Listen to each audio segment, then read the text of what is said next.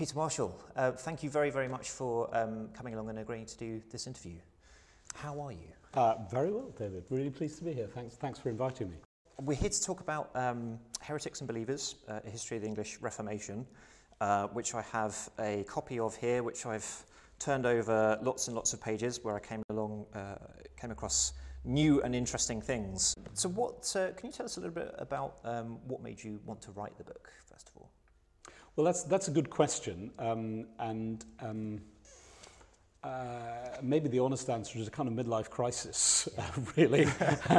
um, uh, so I think there are two. There are really two aspects to that. I mean, one is um, is a broader one about the field, mm. um, and uh, the idea that perhaps it was time for a, a new sort of synoptic um, history of the English Reformation, possibly reaching out to a slightly wider audience uh, than just you know students and fellow scholars in, in the academy. Mm. And arguably, the last time that was done was um, Christopher Haigh's English Reformations in the early 1990s, and the time before that is, is probably A.G. Dickens's um, English Reformation in 1964. So I sort of somehow felt there was a kind of moment to, um, uh, to, to, to, to intervene there again. Mm. I guess the more personal answer is I've been you know, doing English Reformation things for an, a, an awful long time, and I thought it was really time to put my money where my, my mouth was and right. to try and um, see if I had things, interesting things to say about the, the topic.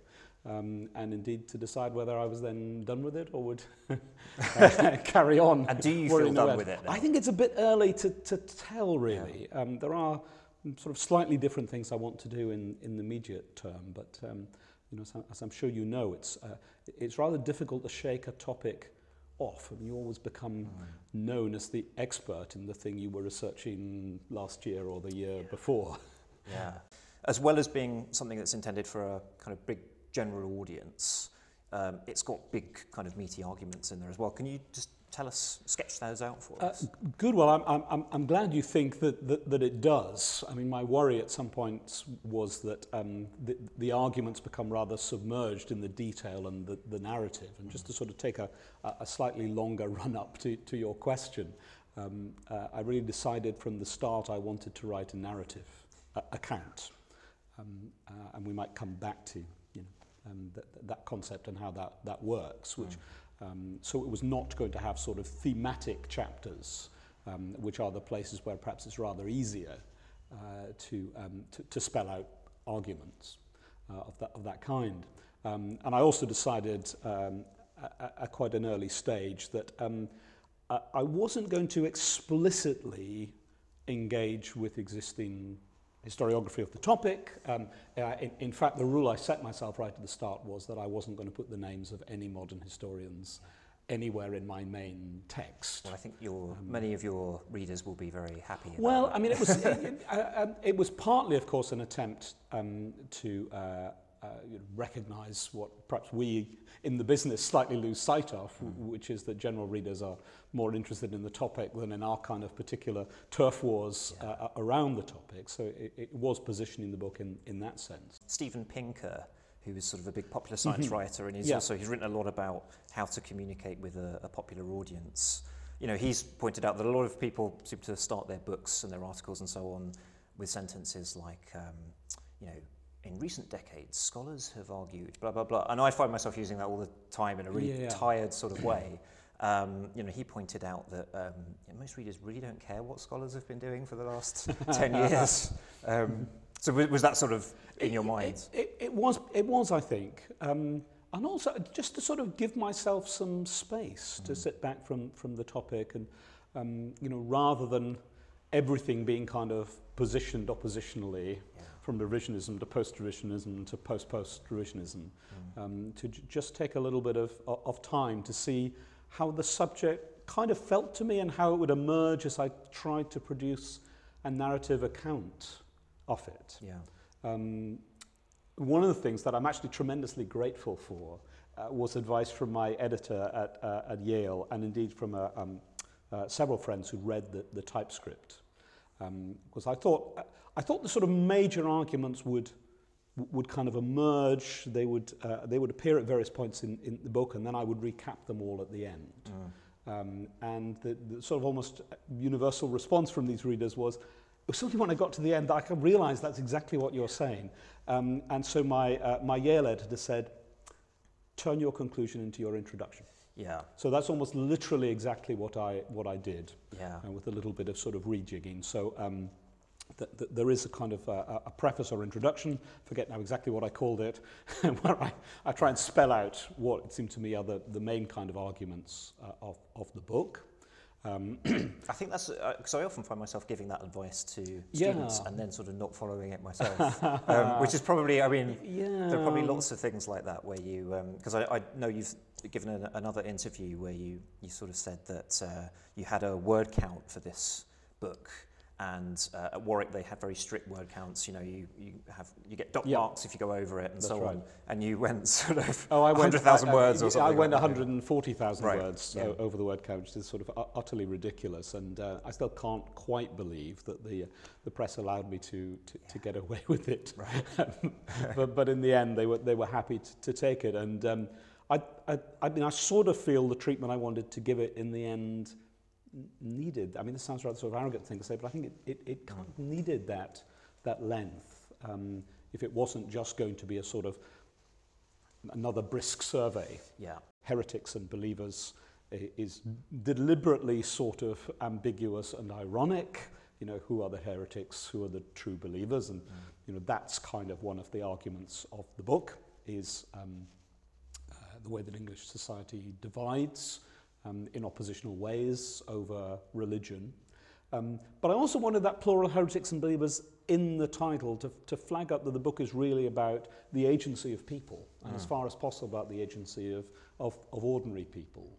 Um, so, I mean, of course, in one sense, there are large impersonal forces mm. um, which, which shape things, um, economic, cultural, um, all the rest of it.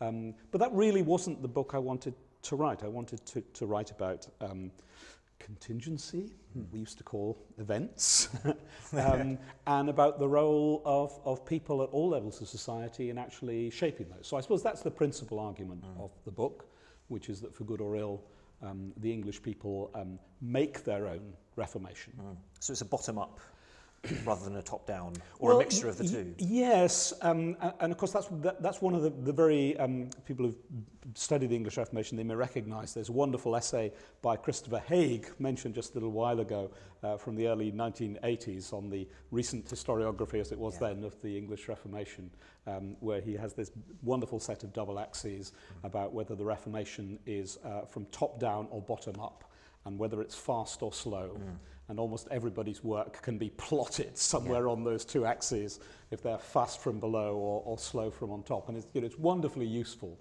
um, but, but in a way kind of too neat, I think. Mm. Um, and uh, the bottom up versus top down um, seems to me kind of a false dichotomy. Mm. I mean, the, the fact that the, the English state, if we want to call it that, mm. the crown, uh, political authority, is a, a, major factor in the making of these changes. Is, of course, you know, absolutely um, uh, un undeniable mm. and common knowledge. Yeah. Uh, in, in one sense, a lot of this does start with Henry VIII's marital difficulties in the, uh, in the late 1520s. Um, so uh, I absolutely don't want to kind of you know, minimize uh, the, the, the role of political authority in, in making this. Um, but uh, it doesn't do it on its own. Um, and it doesn't get what it wants, which I mm. think hmm. is, is the key thing. Um, well, I, th I think that's, I mean, one of the, the things that really resonated with me is um, where you're sort of discussing how the Reformation inadvertently undermines political authority. You know, that there's a sense in which um, kings are elevated by being made, you know, head supreme head of the church and all, all yeah. that sort of stuff. Um, but also, um, other people now think they're heretics. What was also really interesting is you were talking about a, a lot in the book about um, public opinion and mm. how the Reformation kind of creates it and kind of conjures it into being. But yeah. you know, both in the sense that reformers and leaders of the Reformation try to kind of appeal to, to public opinion, yeah. but also that it's kind of weaponized by rulers um, as a tool in, in international diplomacy. In 1528, the Boleyns sort of, uh, this, this seems to be a proposal that comes from the Boleyns anyway. They, um, they try to, to put together a petition of leading noblemen to sort of present the divorce as having kind of the consent of Yeah. the, at least the elite political nation. Yeah, Um, yeah. And, but what- and to mean- bully the Pope. Right, exactly. Yes, yeah. Um, Um, but that to me seems to imply that you know that public opinion in however you wish to conceive it. Mm -hmm. And you could say, well, public opinion is just the nobility or you know the, the political yeah. nation, or that it's it's broader, um, is more important in political culture perhaps than, than we, we tend to think. Well, I, th I think that's right. And it, I'm, I'm very conscious this is kind of more your field than, than mine, David. Yeah. Um, uh, I'm not going to go and, on and on about it. and of course, I, I, I worried a bit about the, the, the term of art here, public opinion. And I, you know, I was it, this ask, is the sort of thing that historians pass endlessly. And um, yeah. um, you know, discussions about the public sphere in the early modern period and who participates in the public sphere and, and so on. So I suppose my, my use of terms like um, public opinion is a, a, a rather sort of um, uh, inexact, Yeah. kind of common sense way of, of approaching it. But Mm. um, yes, I think um, you, you'd summarised it very nicely. I mean, what I wanted to, to, to say is that um, uh, authority uh, at every stage of the Reformation process, starting with Henry VIII's divorce, um, not only needs to impose its will, it needs to be seen to be right. Mm. It needs to persuade people uh, and to persuade actually not only the elite, um, but a much larger um, section of, of, of the population. So there are works in the vernacular for a wider audience. There's the use of the pulpit, obviously. There's you know even things like um, uh, copies of the Act of, of Appeal, that great declaration of, of independence um, from 1533, uh, being posted on every church door. Um, again, to use an anachronistic term, but uh, what we can't sort of get away from, there's an awful lot of, of propaganda. Um, but the thing that uh, I think I'd always known, but became clearer to me in the course of, of writing the book, is that propaganda is always double-edged. yeah. It always kind of, you know, any attempt to persuade advertises the alternative possibilities. Well, that, I think know. that was, yeah, I mean, sort of a wonderful thing that comes up again and again is of people like Thomas More trying to kind of refute reformers, but then basically including almost complete copies of their tracks in yes. his refutation. Yes, no, it, it yeah. happens literally in that way throughout the 16th century, that, that, that style of polemical refutation always involve the quotation of very large chunks of your opponent's yeah. work. So, yeah. you know, this is the best way to sort of read Tyndale in the 1530s is to acquire copies of Moore, yeah. uh, and indeed probably the best way to read the works of exiled Catholic polemicists it, later in the 16th century. He seems particularly bad at that, actually. I, I, I don't know, I, that's the impression that, because I've come across um, the supplication of souls, yes. which is a response to um, the supplication of the beggars. That's right. Which is this sort of tract in that Simon Fish writes Mm-hmm. um, in 1529, which sort of says, you know, "We the beggars, we're being impoverished by the terrible corruption of the um, of the clergy," Mm-hmm. uh, and then More's response sort of um, embodies another voice, which is the the voice of souls who are in purgatory. Um, but he, he basically repeats all of the juiciest arguments of, of Fish and, and, and pretty much kind of repeats the whole tract. Um, Yeah. That's a bit silly, isn't it? what do you think? Well, I think More faces precisely this, this dilemma. You know, he, it's not that he's unaware hmm. of the fact that he is advertising the views of these heretics. He, hmm. he, he simply thinks he cannot remain silent in, the, hmm. in the face of this threat. And I mean, I suppose it's, it's the dilemma that sort of politically motivated people in, in all sorts of circumstances might, might feel. And, um, you know, we're in very divisive political times now in the UK. We're in, as, as, as we speak, we're in the last stages of a very divisive um, election in, in the US. And, you know, it's pretty clear that, um, that the processes of sort of stirring up one's own supporters also energize and radicalize the other side as, as well. And I think, you know, that process can certainly be seen operating all the way through um, yeah. the, the 16th century. And that there's so sort of boundaries between uh, what later become Protestant and Catholic um, views are, there's a process of polarization um, that, that happens. I think that's, yes, uh, that, that, that, that's broadly right. I mean, um, one shouldn't, of course, be too um, sort of, you know, naively um, optimistic or, or, or rose-tinted about uh, the unity of medieval Catholicism. Mm -hmm. You know, I think um, in all sorts of ways, early 16th century England is, is, is quite um, uh, fragmented and, and polarized even within um, the, the broad umbrella of, of, of Catholic faith. Um, and, and then, of course, there's uh, a period of quite extended confusion uh, set in motion um, by the, uh, the, the almost kind of accidental coincidence of, of Henry VIII's marital and political manoeuvres um, and the English branch of the Reform movement, which starts in Germany with Martin Luther. Um, and uh, so one of the things that I want to, to emphasize in the book is that I think that those two, um, uh, you know, it would appear completely unconnected processes become very closely connected from a very early stage. So, I mean, I don't think the English Reformation can very helpfully be described as an act of state, but I don't even think Henry VIII's break with Rome can very usefully be described as just simply an, an act of state. Mm. Um, and uh, yes, I suppose those, um, th those modern or quasi-modern um, religious political identities of uh, Catholic and Protestant or uh, Protestant and Roman Catholic um, do come into being uh, over the course of the, the 16th century, but mm. um, you know, slowly and rather painfully. It does seem like in the Reformation, um, in Reformation studies, that's more of a problem than it is in sort of some other areas. You know that you, you can't use Protestant in the 1530s and, and yeah. that kind of thing. when can you start using that term? Excuse me. Um, well, of course, one, one, one can end up being um, uh, rather silly about this, yeah. um, and um, you know, the, we, we can only use terms exactly as they were used by our contemporary subjects, and then, of course, even that doesn't solve the problem because they use them in very sort of slanted and, and political ways. So um, I, I suppose uh, my feeling on this is that you can use the terminology you want so long as you're kind of aware of the issues ar around it. Mm. Um, I mean, Protestant, I think, is an example, and I've written elsewhere about, about this. We all kind of know what we mean when we talk about you know, the Protestants in the 16th century. Yeah. Um, uh, so it appears to me that the word is not being regularly used by English people about themselves until some way into Elizabeth's reign. Mm.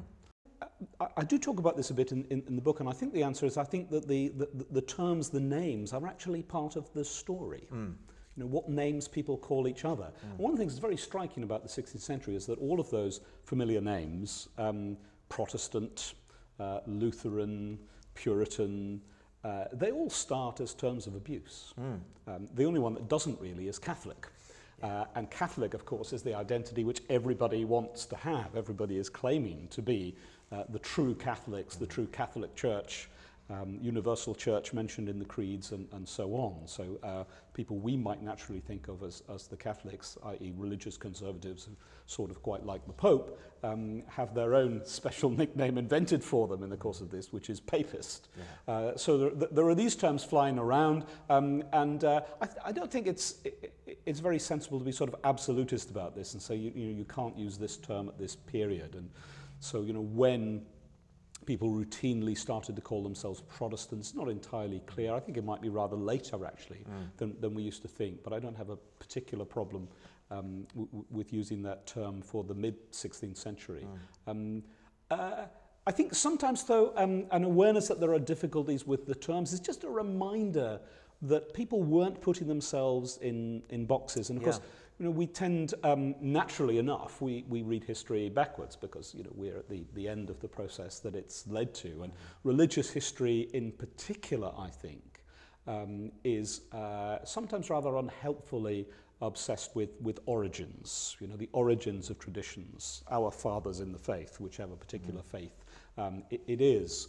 Um, and of course, that's produced very important work, but I think it can sometimes lose sight of the fact that, I mean, just to, to give a very obvious example, that um, Martin Luther didn't think he was a Protestant, never called himself that. Um, he was a late medieval Catholic reformer. Um, as was uh, William Tyndale or any number of other people in, in, in England. So um, I think just a bit of care with the terminology reminds us that the story is not yet completely scripted and that these identities and the names that go with these identities really take some time to emerge. I mean, one of the other the other sort of themes, I guess, or the big arguments, uh, was sort of about how violent and coercive the Reformation was. Um, there were a couple of really striking things, uh, examples that you, you used in the book. Um, it's the fact that the, in the Pilgrimage of Grace, um, which is the sort of big rebellion in the Henrician period uh, against uh, the dissolution of the monasteries and, and reform. Um, 50,000 people uh, were, were involved, uh, I, I think, in that rebellion, which Yeah. you point out is bigger than any army that was ever fielded by, Sure. by Tudor monarchs in the whole 16th Yeah. century. Yeah. Um, and the other really lovely example, I think, you- is the um, in the 1549 Hmm. Prayer Book Rebellion, which is another sort of conservative, mm -hmm. maybe we can't use that word. It's in favour of traditional sure. religion rebellion. Um, yeah. 10,000 people, something like 10,000 people are, are killed, which yeah, is... Yeah, we're, we're not entirely sure. It might be 10 or 11,000 across the country in the summer of 1549, including yeah. um, the, the rebellion in the southwest and Devon mm. and Cornwall, but, but also Kett's Rebellion yeah. In, in East Anglia. But, um, But I think you, you sort of, if you scale that up to the modern day, it's something like 200,000 people dying, I think Yeah. you, you point Yeah. out. Um, No, that, that, that, that, that's right. Um, and um, partly I think this is um, a sort of twofold reaction, really. Um, one is, uh, and, and this is rather sort of um, d- defensive and personal, but the idea that those of us who work on the English Reformation get from our continental colleagues that their reformations were much more exciting. Yeah. they, had, they had proper wars of religion. yeah. Um, and we had a rather sort of boring bureaucratic reformation in which the government sent orders to church wardens and they Yeah. carried them out. Um, But were uh, there, histo- were there British historians in the past who sort of wanted it that way? Well, I think that who- yes, I think that I think there were because, of course, uh, another of the sort of inherited cliches about the the English Reformation is that it's tremendously English, which Mm. means that um, it's uh, it, it's fairly moderate and, Yeah. and sensible. And of course, this is. Um, uh, I think it's more or less okay to say this. This is a founding myth of the Church of England, for Mm. example, that, that it is this via media, this middle way between uh, extremes of sort of zealous iconoclastic Protestantism on the one hand and um, a fervent Roman Catholicism on, on the other hand. And this fits in with myths about national character, of Mm. you know, the pragmatism and good sense of the British. And if I'm allowed to be a little bit political since the spring of 2016, the pragmatism and good sense of the British seems rather more in question perhaps Yeah. than it was in, in some recent years. So um, uh, and, and in that sort of rather mythic version of the English Reformation, of course, episodes uh, like um, the uh, prosecution of heretics in Mary's reign uh, or the iconoclastic destruction in Edward's reign seemed like aberrations. Um, a lot of 19th and early 20th century presentations, you know, these were the kind of you know, moments where, bizarrely, the English Reformation was going a bit continental before it sort of came back to its senses.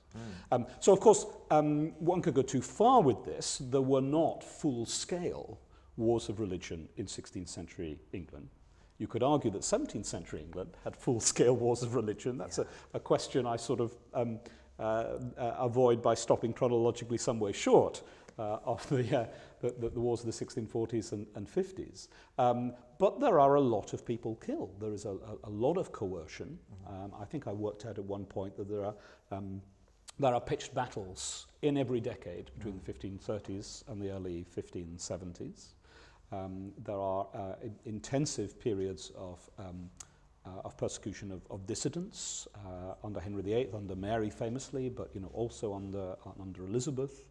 um, uh, and even in, in Edward's reign, where um, large numbers of people are not being executed for heresy, Anabaptists are being persecuted, um, and um, rebellious peasants, as you were just saying, are, are, are slain in really quite remarkable numbers. So it, um, it doesn't seem to really um, uh, encroach that much on the popular imagination for some reason, the, the 1549 rebellions. Well, I don't know if you found that. I mean, a lot of people have heard of the Pilgrimage of Grace, Uh, a lot of people have heard Yes. of the Marian um, persecutions. Yeah. But um, things like the 1549 rebellions, for some reason, I, I don't know what it is about Edward VI, but I don't know whether it's because it's a sort of short reign or... Hmm. I don't know, people don't seem to really know. No, that's, I. I think you're absolutely right about that. Um, and um, I'm not into, entirely sure why it is. I mean, uh, uh, we are, of course, obsessed with the Tudors, Yeah. um, but I think we are obsessed literally with the Tudors, you know, i.e. with the, the members of that family who, in fact, going back to terminology, didn't call themselves Tudors. Um, so uh, a, a lot of sort of broader cultural interest, I think, in the, um, in, in the 16th century is with, I mean, understandably, it's with, it's with the great and, and the good. And Yeah. 1549 is about ordinary people. Mm. Um, and um, Yes, I mean, perhaps those historians uh, who uh, often, of course, coming politically from the left, who, who are very concerned um, with the memory of ordinary people and their political struggles and agency and so on, they've been more naturally drawn to the 1640s mm. um, and levelers and diggers and people like that, and um, conservative peasants in Devon and Cornwall haven't appealed to them too much either. Yeah. So, um, Uh, yes, I think we should think more about 1549 um, and about 1569, which is, um, I think, a rather more serious um, rebellion than it's often been credit for. This mm. is hmm. the, the rising of the Northern Earls mm. in um, County Durham and, and, and Westmoreland, which is a, a major popular movement.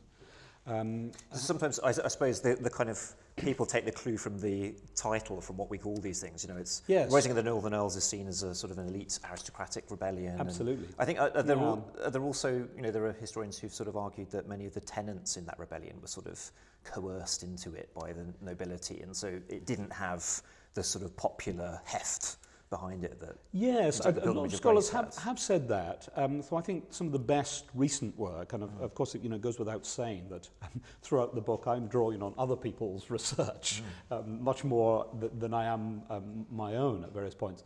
Um, but I think some of the, the best recent research on uh, that rebellion shows that, in fact, um, most of the participants were, were not direct tenants of the Earls of Northumberland and, mm. and Westmoreland, um, that it's very widespread. Mm. Um, and that there is deep popular unease uh, across the north of England with the direction of government's religious mm. policy. And, um, I suppose it's very difficult to judge the level of popular support for something based purely on who's willing to rebel. Uh, yeah, in, in favour of it. Yeah, so it, it has been calculated that there are something like 80 parishes in, um, in, in the north of England uh, where there are acts of Catholic iconoclasm mm. in 1569, i.e., um, the collecting and burning of Bibles and prayer books, um, you know, which is not something that I think people would be doing would be doing lightly. No. I, I, I could get the impression from reading the book that you quite sympathise with uh, people who just sort of kept their heads down um, among all of these changes. I think someone who lives through this period um, could be forgiven for being completely confused about uh, what they're supposed to believe, mm. um, uh, yeah. how they're supposed to worship, and so on. You know, you, you've got uh, Reformation, Henrician Reformation, and then it kind of goes back in a conservative yeah. direction in the 1540s. Mm-hmm. Then it goes back to the other, you know, swings sure. to the other extreme under Edward, yeah. goes back under Mary, sort of somewhere in the middle under under Elizabeth. I, I got the impression that you, um, you know, you sympathised with people who didn't necessarily respond to that as most people didn't, by opting for kind of martyrdom or, or exile. Um, yeah. Is, is, that, is that what you would have done, do you think? If um, you Oh, a, a, absolutely. I mean, yeah. if you you know threaten me with with, with torture and execution, I won't. I'd be that, well. That's that's, that, that's a relief. I, I, you know I'd be asking yeah. where do I sign? Yeah. Um, you know, I think most of us most of us would. Mm. Um, so I think yes, you know, naturally, I suppose we, we empathise with those people.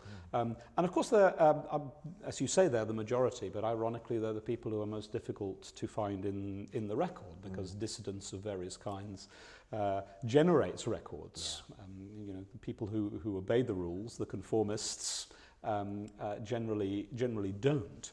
Um, going back to what you asked me at the start about the sort of the, the major arguments in, in the book, one that I hope comes through, um, and I sort of hope is, is right, though it's a, in some ways a kind of intuitive feeling, is that um, I suspect historians might have overdone this line, mm. that the Reformation just absolutely confuses everybody. Oh, really? Mm. Um, uh, I mean, of course, the, the, there are these dramatic changes, and um, you know, if you were born in, um, let's say, 1520, and, uh, and and lived to 1600 or 1580, 1590, you know, you've seen uh, the whole sequence of them. Mm. Um, but all of these changes are accompanied by pick up another of our themes from, from just now, various forms of persuasion and, and mm. propaganda. Yeah, and um, I, I suppose, so, I mean, confusion implies that it's just something that's kind of washing over you yeah, and that you're not responding to no, actively. Ab, ab, ab, absolutely. So I think um, even though the, the great majority of people do not take um, sort of direct political action in support or against the changes that they see happening to them. Uh, they're hearing a lot about these changes. I think they probably, though it's difficult to be certain about this, um, become uh, more aware of uh, the, the meanings of items in their parish church um, and of um, sort of key points of, of doctrine. Um, and I think probably more of them you know, genuinely agonized than we sometimes give them, them credit for. You know, we use words like conformity sometimes in a rather dismissive way, you know, mm. mere conformity, or it was, uh, it was indifference. Um, uh, and I, I'm not sure we can be sure that that was the, the, the case. So I think the sort of uh, the agonies of conscience that people went through, particularly those who, to use another um, term of abuse from the period, uh, are termed Nicodemites. Um, this is a term uh, which actually has biblical roots in St. John's Gospel. The Pharisee Nicodemus is drawn to the teachings of Jesus, um, but uh, will only come to him secretly at night um, because he's uh, frightened of, of, of persecution. So Calvin picks up this phrase uh, and uses it very disparagingly um, to indicate those who know the truth in their hearts, but because of um, fear of punishment, uh, outwardly conform uh, to the wishes of the state. And uh, what the English Reformation creates at every stage are very significant numbers of these Nicodemites. And I, and I think their position could be interestingly sophisticated and was not simply one of um, uh, what is sometimes called the, the Vicar of Bray syndrome. This is a, a 17th century proverb um, about uh, the Vicar of Bray in Berkshire, who is accused of having betrayed his principles and changed his position several times over the course of the 16th century. And he says, No, no, no, I've always been true to my core principles and beliefs, um, which is that I wish to live and die the Vicar of Bray. um, so th- th- that kind of cynical, pragmatic conformism, I'm sure, existed. Um, but there were, there were others, I think, um, who uh, found these processes of change extremely disquieting and difficult. Are there any um, popular misconceptions that, that you think people have about the, the Reformation? Because I sometimes find um, when you talk to people about it that, um, for instance, you know, the idea that some people might not have wanted the Bible in English is comes as a bit of a, a surprise to, to people. Um, you know, I think people do tend to yeah. see the Reformation as this kind of liberation. Mm-hmm. Um, there's also, and, and maybe it's something to do with the sort of more secular times that we're living in. But I find, um, you know, students are also often quite apt to assume that um, religion is almost exclusively a system of social control, and that's what it does, you know, mm-hmm. during this period. Yes. And, and, and also that um, you know, sort of picking up on what, what you said about um, people responding to the Reformation um, differently and, and actively and struggling with it. Um, the idea that uh, common people just sort of took what they were told by the church for granted and that was their only source of information and all, all that kind of thing. I mean, yeah. I think you're absolutely right. I think all of those are, are, are misconceptions. Um, and in, in, a way, misconceptions are, are, are, good because it shows that people are interested absolutely. in this period and uh, that, that it has a place in, in, in cultural memory. Um, I mean, I suppose, um, yes. Um, I mean, broadly, I suppose, um, although Britain is now a very secular uh, place, um, uh, it was at one point a very Protestant country, and it's now a kind of Protest- uh, post-Protestant country. Mm. Um, so the, the idea that, um, broadly speaking, the Reformation was evidently a good thing mm. um, and, and a force of liberation, um, I think is pretty deeply grounded. And I think that is, you know, that, that is worth challenging. And again, that's something I sort of flag up in, in the title, you know, heretics and believers, the sort of the, the, the different sides I, I think need to be treated with, with equal respect. Mm. And I think that their ideas and preoccupations are, are, are, equally, are equally interesting. Um, uh, which is not to say that you know I want to um, re- replace that narrative with another sort of mythic narrative about you know how um, uh, you know everybody was a happy Catholic and, and the Reformation was a sort of evil plot yeah. foisted on the country by a, um, a handful of um, uh, uh, politicians and, and, uh, and their cohorts. Mm. I mean these are of course um, these modern myths have their roots mm. in different versions of the Reformation story which are generated in, in the period themselves. Is, is that sort of a challenge, do you think, of writing a, a popular history of the Reformation that um, um, for all their, uh, for everything that's wrong with those kind of grand narratives of one kind or, or another, they do they are at least kind of easily graspable and they sort of you know they, they kind of help people who are maybe not familiar with the periods have a sense of sort of why it's meaningful and, and why it's important mm-hmm. to them because yeah. it, it often seems to me that um, you know his, academic historians since the kind of 1970s have been quite good at knocking down um, grand narratives yes. and complicated and saying, you know, no, it's yeah. more complicated, which is always you know, what we should be doing as historians, Sure. saying it's more complicated. Um, but the, the more that you do that, the more you, you sort of make it kind of confusing and, and difficult for, for a broader audience to understand. I think that's absolutely right, and I think it's a real problem. And um, yes, I mean, my, my, my instinct, my, my students, I'm sure, will, will confirm this, is to make things more, more complicated. I mean, I, I, you know, I think that's a really important role that historians have, is to say, hang on, things may be more complicated than, than you think, and simplistic historical myths. Yeah. Um, you, you, I you think you never lose marks when you're writing an essay for saying it was complicated. Oh, sure. Yeah. Yeah, yeah. Um, and, and, and they can be dangerous, of, of, of course, you know, whether Mm. in Bosnia or Ireland or, you know, the United States or wherever it might be. So I Mm. think, you know, um, academic historians, historical researchers do have this obligation to say, well, yes, the path is difficult and confusing, but at the same time, we have an obligation to kind of map a way through it. Um, and so, uh, yeah, I agree with you. I think, you know, it's often important to say, um, that these, uh, these, these grand narratives, grand explanatory frameworks, often rather sort of progressivist ones, um, people talk about Whig history in the 19th century tradition and, and going over into the 20th, uh, you know, these needed to be, to be challenged. But I think just knocking them down is not terribly um, interesting. I mean, finding replacement narratives is, of course, um, difficult. So, in a sense, I think in my book, I do sort of come full circle back to those notions of um, liberation and modernity, but not perhaps by the route um, that historians of previous generations would have taken us there. I mean, the Reformation, it seems to me, more than anything else, is a case study in the law of unintended consequences. Right, absolutely. Um, so it's, uh, it, it- it's, it's liberating in the sense that it gives people opportunities to take control of their own lives and of their own processes of thought and identity in ways that perhaps hadn't been possible before, um, but not, uh, in my view at least, because it replaces an effective form of Christianity with a better form of Christianity. Many of the kind of grand narrative changes that you're talking about go on beyond the end of the book, and it's not a sort of a complete process. Yeah. Um, you know, so for instance, you you the, the kind of the, the fact that by the end of the period of your, your book, which kind of goes up into the 1590s, More or is less, that right? yeah, Um, yeah. That uh, you know, Catholics and, and Protestants are sort of ineradicable.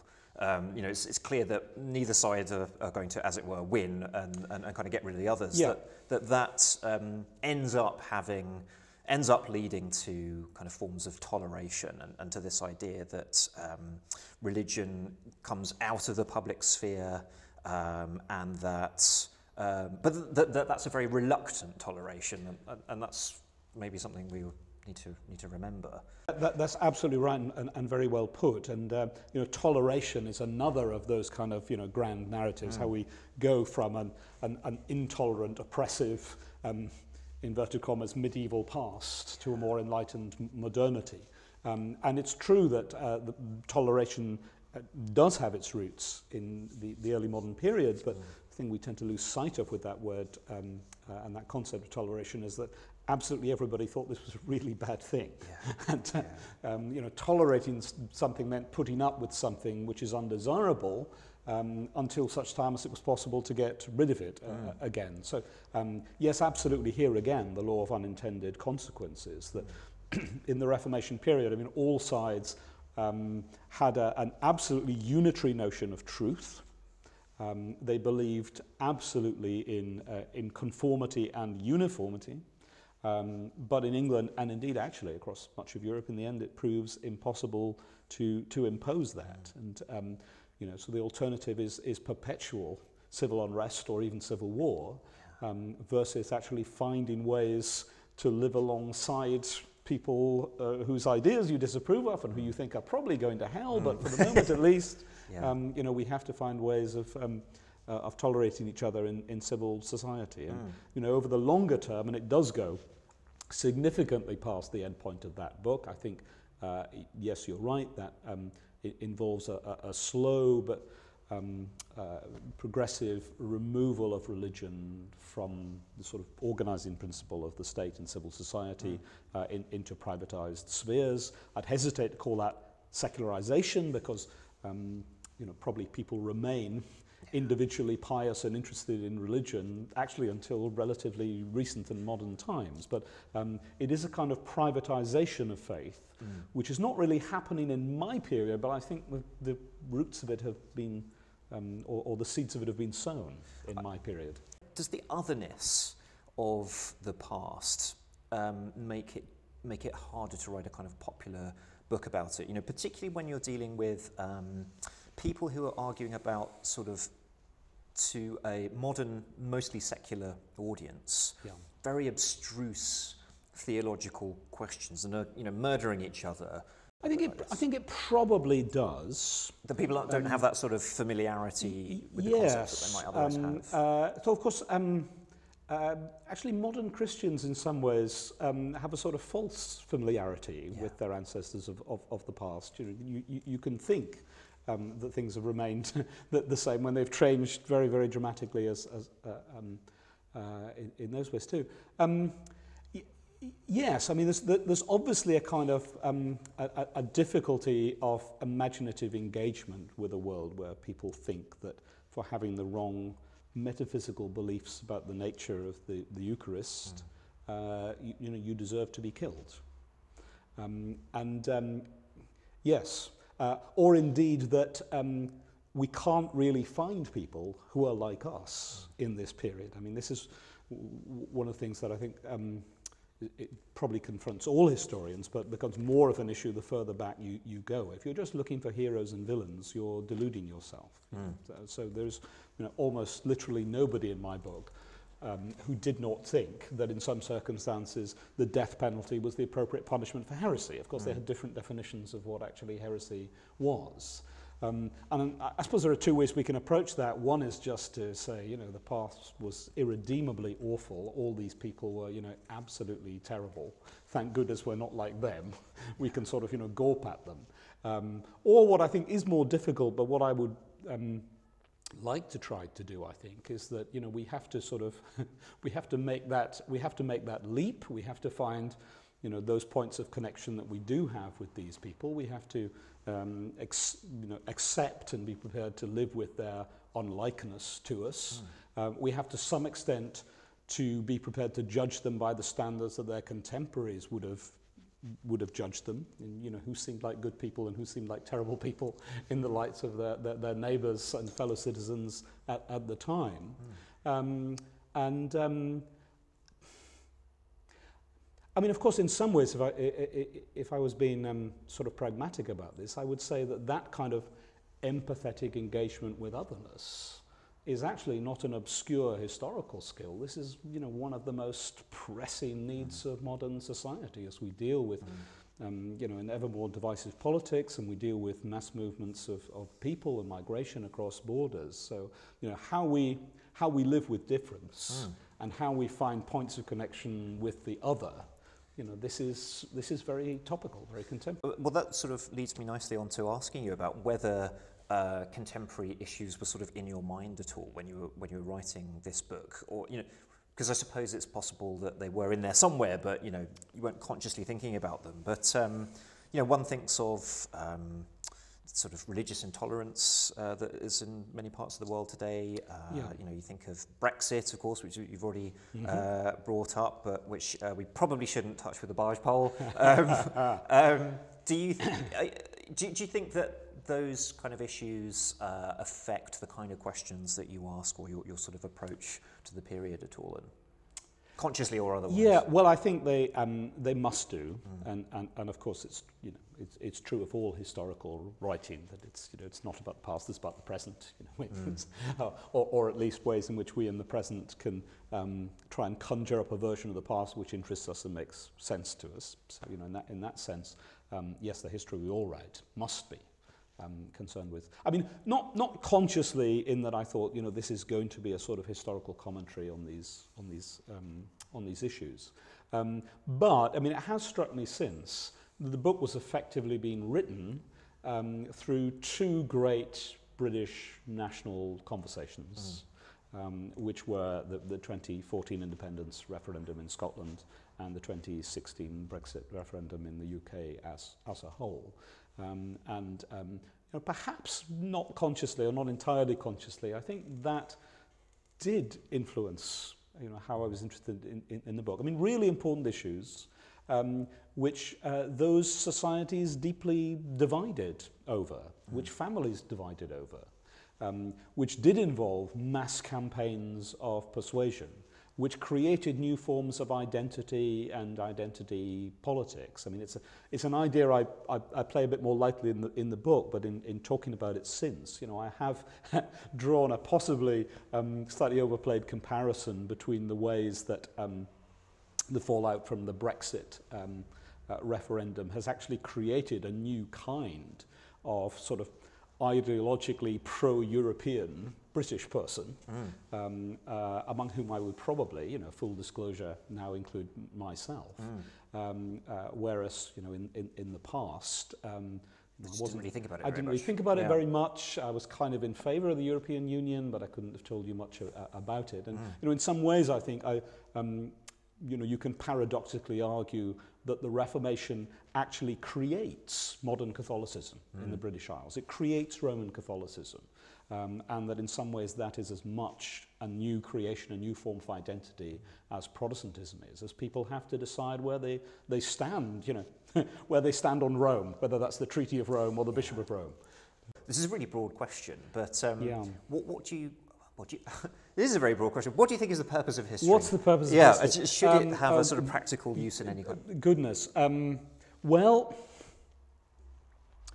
um, gosh, I mean, I've always been a bit more of a proponent of the, uh, the, the, sort of Mount Everest school of thought on this. You know, why do you climb Mount Everest? Because it's there. Yeah. Um, and, I, and I think a sort of a kind of instrumentalist defense of history.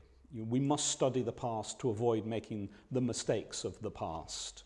Um, and so that we can compete for government funding with you know, the STEM subjects, which are obvious more practical use. Seems to me a bit of a, of a dead end. And I think trying to find lessons in the past which can be applied absolutely to, mm. to the present, you know, can actually be rather rather dangerous. I, think it's I, mean, I don't know, you know, Anthony yeah. Eden in 1956 was convinced that Nasser was Hitler and that, you know, appeasing the Egyptians um, would be repeating the mistake of the 1930s and as a result we ended up with the sort of catastrophe of, of Suez. So I think... Yes, you, know, so you that, just draw the wrong you draw, You're yeah. very likely to draw the wrong messages. Mm. Um, on, uh, uh, on the other hand, um, you know, I, I do think that a sense of history uh, is really important. Um, or to put it in a, another way, a good sense of history, a sense of a complicated history, yeah. of, a, of a rounded history, uh, is, uh, is very important because, you know, bad history leads to very bad results, leads to very narrow forms of, of identity politics. So um, I suppose if you're putting me up against the wall, I think, um, yes, studying history, thinking seriously about history, trying to make those imaginative connections with you know, these very other people who didn't think like us, um, I think that has the capacity to make us more fully rounded and more tolerant people. Mm you know, um, I'll, I'll, I'll raise your question, what's the purpose of history? You know, what's, what's the purpose of life? What's it all mm. for? Why, why are we here? And, you know, I think part of that must be recognizing a sense of common humanity, mm. you know, both with those who are our contemporaries, but also with those who've gone before us as, as well. So, mm. I mean, I think, you know, history is, is a kind of duty to, to the dead, to mm. tell their stories, mm. you know, in, a, in an honest and respectful way. If you could go back in time to this period, um, to the, the 16th century. Um, is there any conversation you would like to listen in on? You know, would you like to be a kind of fly in the wall um, at court? Or, you know, are, are there any sort of mysteries like that that you, you wish we could know more about? What would you do if you, you kind of had a time machine? Oh goodness, um, gosh, and that's really that's really put me on the spot. It's a very very good and very interesting question, and I'm sort of you know struggling to have an, an, an answer on it. Um, uh, I mean, okay, I, I, I, suppose I would say um, um, that, you know, I wouldn't want necessarily, you know, to be in one of the galleries at, at, at Whitehall and to sort of, you know, eavesdrop on some crucial conversation mm. um, between Henry and Thomas Cromwell or between Elizabeth and, and, and, and William Cecil. I'd just like to go to the pub and right. sit in the corner mm. and, you know, watch what people did when they came in and how they spoke to each other and, you know, what topics came up in their, in their conversation, you mm. know, how long it took them to get from the price of wheat to, you know, what the Spanish were up to or what was going on at, at, at court. Yeah. yeah. Um, I mean, I suppose, and I mean, maybe one of the answers is uh, that you wouldn't really want to go back to, to the 16th century, or would you would presumably like to visit, but well, not, not, yeah, no, ex- exactly, and yeah. uh, you know, the sort of the historian's joke, which you've probably heard, is you know when people say what period of history would you like to, to live in, you know, the answer is how close to the present am I allowed to have? Yeah, yeah. uh, and then the second part of that answer is why the, you, you say, well, dentistry. Yeah, yes, yes, absolutely, yeah. Uh, vaccines, uh, well, th- things like that. Yeah, yeah. Um, I did ask, I, asked an American uh, professor this because she was sort of bewailing the terrible um, uh, kind of modern condition of the world.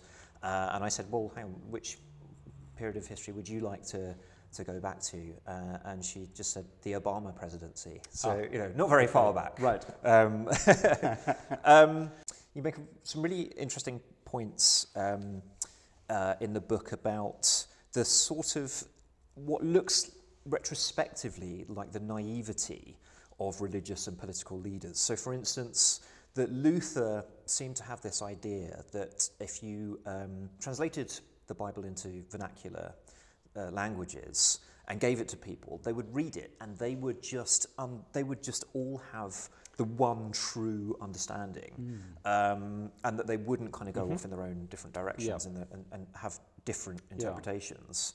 Um, and sort of similarly with with Henry, uh, there's a sense here and there that he just thought, you know, if if I just tell people to be uniform in their religious Yeah. beliefs and not to tend to one side or the other, if I just issue a proclamation, they'll do it.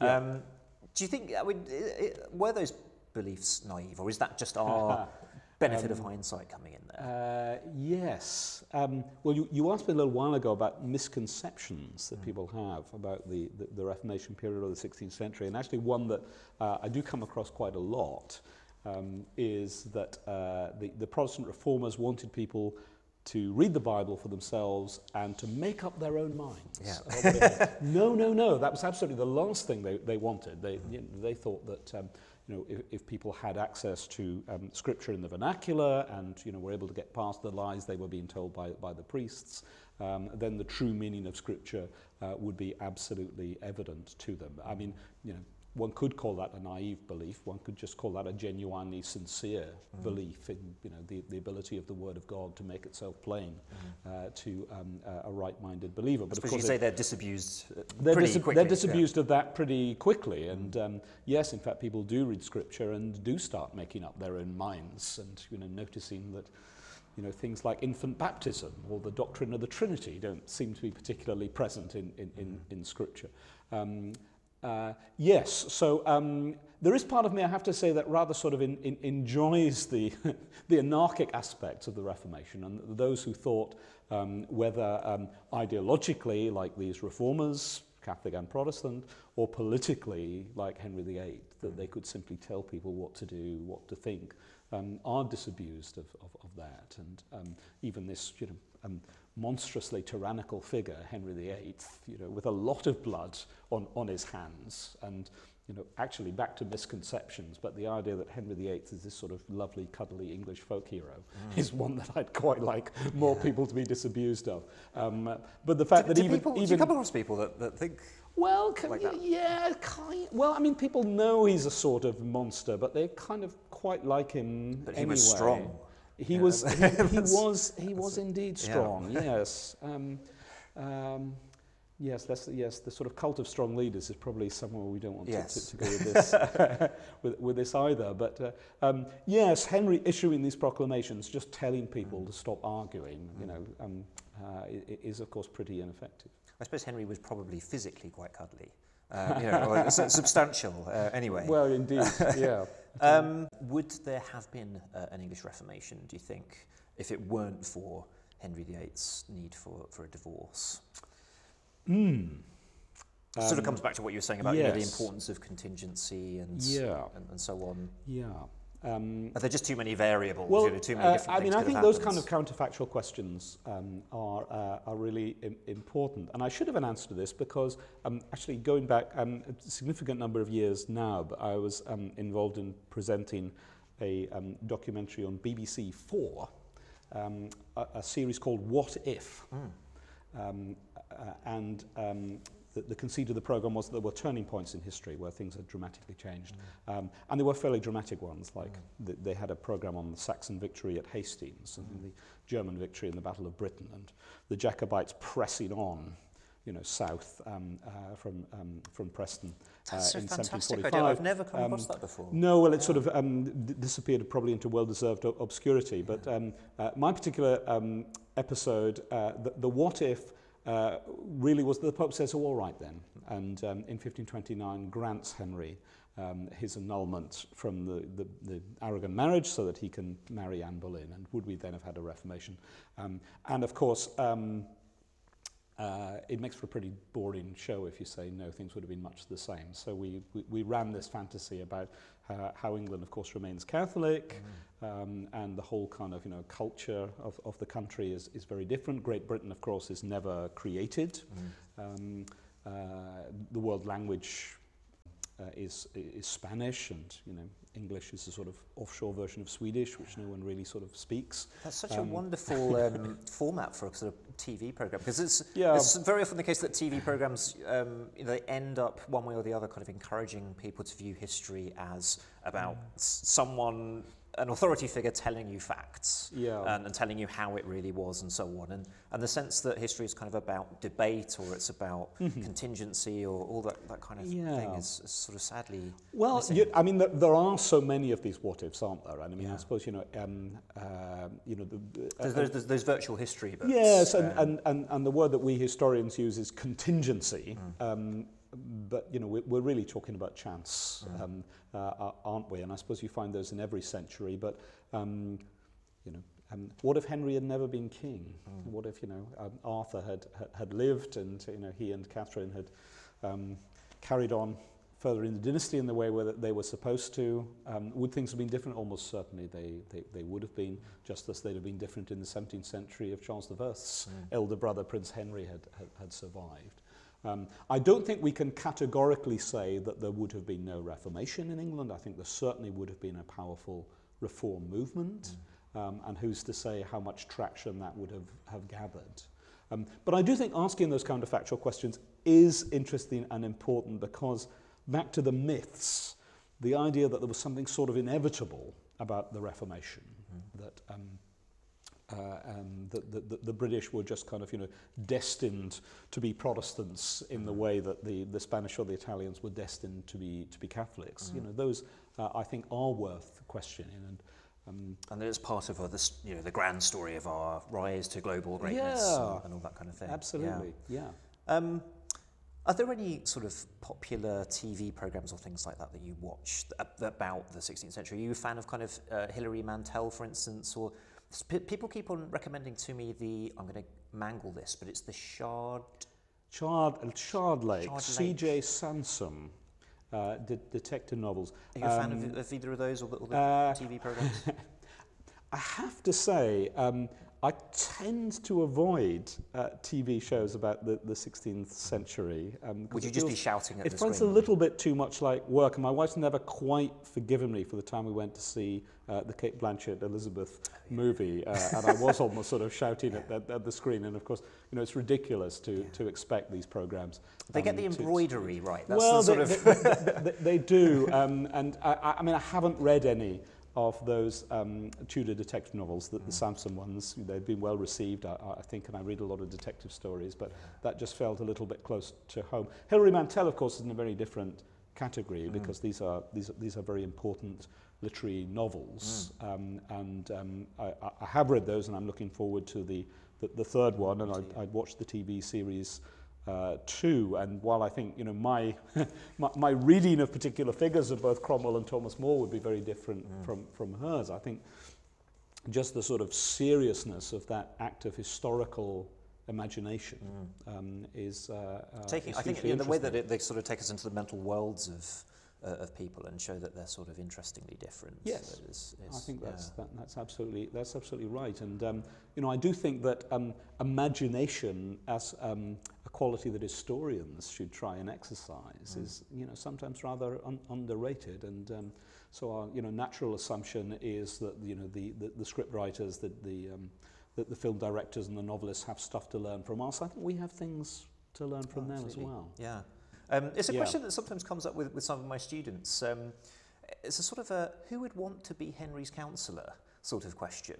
Because, um, you know, although there are some of them who managed to go through the reign, uh, you know, very, very successfully and very kind of adroitly, um, it's quite tough at the top. Uh, under Yeah. Henry, and you could say the same, Mm. you know, for Edward as uh, uh, as well. So, um, Yeah. Or why would somebody want to be prime minister or, or Well, quite- president of the United States? well, at least they know? don't get their heads chopped Well, off. yeah, yes, not yet. Yeah. At any rate. Um, But no, that does come up, I suppose, with, with kind of Theresa May right now. You know, why would you Mm. want that job? yeah. But um, but do you, I mean, do you, because some of them must be. They're, they're, they're obviously aware that previous kind of favourites and councillors have fallen from power quite often quite dramatically or have come to a, a, Mhm. a sticky end. Um. I don't know. What, what I'm trying you to think of yes. The, the only cases I can think of, of course, um, was it the um, goodness, uh, uh, was it the Duchess of Milan who politely turned down a, a marriage um, approach from Henry VIII, saying that you know she was quite attached to her head and, Yeah. and she wanted she wanted to keep it. Um, but o- of course, for subjects within England, you know, um, saying no to the king is something you don't Mhm. you don't really want to uh, to, to do. So Yeah. you know, if you're invited to be Lord Chancellor or whatever it, it, it might be, you, you step up and, uh, and, and, do it. Um, You can't uh, pretend to be ill. you not, well, no. Um, so, I mean, one of the incidents in, in the book actually is Elizabeth I pretending to be ill. Mm. As a means um, to try and get out of going to Mass in Mm. her sister uh, Mary's reign. Yeah, Um, I suppose, and there are some who are obviously you know incredibly successful. You know, the Cecils and and, and so on. Yeah. Um, if you didn't study the the Reformation, i- is there another kind of period of history that you'd you'd really like to do? Because um, you know, Hmm. uh, we all do know more and more about less and less, and that's Yes. certainly not the case with with a book like this, which is wonderfully sort of broad. But a lot of academic historians kind of, uh, you know, they cultivate a 10 year period or, or sort of a, a micro period, and, and that, Yeah. you know, that can be quite, um, quite sort of damaging maybe for, for, for the discipline. I It's- think- but it's quite rare to switch. I think that's that, that's right. periods yes, or switch I mean, the, the, the, one can think of a few examples of people who've sort of dramatically switched periods. I mean, uh, Ian Ian, Kershaw. Ian Kershaw comes to mind, whose first book, as people may or may not know, is on um, Bolton Priory in the 13th century, I think. Um, but but generally, we sort of stick in our stick in our furrow, and I do think that's that's that's a shame. I mean, it's part of the the demise of those grand narratives that Mm. uh, you know even a couple of generations ago, um, you know, people um, you know. Um, like Hugh Trevor Roper felt equally at home in the 17th century as in the 20th, and Yeah. it would be rare for that to, um, to, to, to happen now. Um, uh, I'd like to think I could write about other periods if I Mm. really wanted to put my mind to it. And uh, you I mean, wouldn't this- be worried about sort of stepping on anyone else's toes. well, I mean, it, it probably doesn't sound very sort of dramatic, but you know, one of my books does kind of you know go through the 17th century and on into the 18th century a, a, a bit. Yeah. Um, um, I suppose think it's if- always yeah, a little it- bit frightening, isn't it? Because the, you know, the further you get from your sort of little specialist area, and uh, again, yours is not a little specialist area. Mine probably is much more. Um, you know, the more you think, well, there's someone who's an absolute obsessive with this person or whatever, who will point out that I've made some embarrassing Yeah. mistake. Uh, Yes, th- th- there is that, and I think it is. Um, it, it, it's one of the liberating things. You know, once you commit to writing um, more sort of um, populist uh, or, or at least you know history for a general readership, you know, I think the step you have to make, which is actually really hard for us to make, is you know to not worry about what half a dozen people whom you know really well and whose work you know really well will, will think about the book because you're not you're not writing for them. So I think you know Mm. you do have to be prepared um, for specialists thinking that it's oversimplified or that it's wrong on, on particular points. Um, Yeah. And uh, yes, most of the time I think you're, you're right. That would be the thing that would head us off um, from starting again in a new period. but it would, I, I mean, it would be impossible to write a book like this that would satisfy everyone. You know, or you absolutely satisfy Yeah. every single sort of specialist in Oh, every, no, yeah, ab- yeah. absolutely. No, I think that's right. And you almost wouldn't wouldn't want it to. Yeah, You know, I mean, you know, people want to get good reviews, but you know, Yes. You want you want 90% good reviews and 10% bad reviews, I Yeah. think. You know, just to show. right. That would be my ideal, I think. oh, really? Okay. Yeah. Why, why, why is that? Why, why would you like the sort of ten percent bad reviews? Well, um, y- y- y- to show that you know the book is capable of upsetting people. Yeah. and That you know it It's probably can- not saying anything yeah. interesting enough if it's if Yeah. some people aren't upset. I think that would be my, my instinctive sense Okay. about that. Um, and so, well, I think we've covered everything that I wanted to ask, but um, really just a, a final question, which is um, what's, what's next? Um, you know, what are you kind of researching now or what kind of things do you want to do? Gosh, well, that's, uh, that's, that's a good question. Um, and I'm still sort of recovering from, from 2017 and the big Reformation year when, you know, I also um, wrote a book on Luther and the commemoration of, um, uh, of the Reformation in addition to, to, to this one. Um, uh, so I don't have a sort of big project in hand. Um, uh, I'm actually working on um, uh, sort of social and religious cultural history of the Orkney Islands in the north of Scotland. Um, which is where you're we- from, is which is right? where I'm from. So this is very sort of self-indulgent, um, and it's a change of scale and a change of pace. And um, uh, Scotland of- is, of course, literally a foreign country in the, the early modern period, um, and uh, it has all those anxieties that you were saying about. Um, you know, the, the specialists who've worked on the history of Scotland for, for decades, you know, are um, some way ahead of me on, on the game on this. But Yeah. um, it's, uh, it, it, it's fun. I'm enjoying it. Wonderful. Okay. Right. Well, uh, Peter Marshall, thank you very, very much for coming in and talking It's been a great pleasure. Thank okay. you, David. Great.